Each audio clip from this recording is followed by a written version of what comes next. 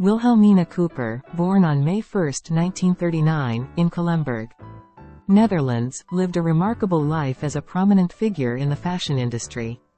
From humble beginnings, Wilhelmina's love for fashion emerged during her childhood. She would meticulously arrange her mother's wardrobe, dreaming of a world filled with glamour and elegance. As she grew older, her passion ignited, and she eventually moved to the United States where her career soared to great heights. Wilhelmina's childhood was marked by determination and an unwavering spirit.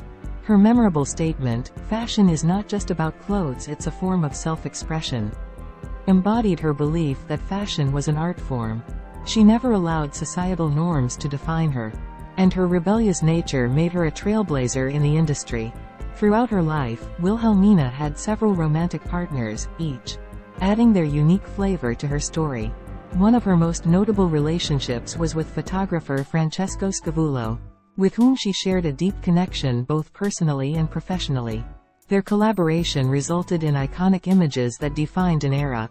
Wilhelmina's life was tragically cut short when she passed away on March 1, 1980, leaving behind a lasting legacy in the fashion world. Her modeling agency, Wilhelmina Models, continues to thrive representing some of the most influential figures in the industry. Wilhelmina Cooper's story is a testament to the power of following one's dreams, and her impact on the fashion world will forever be remembered.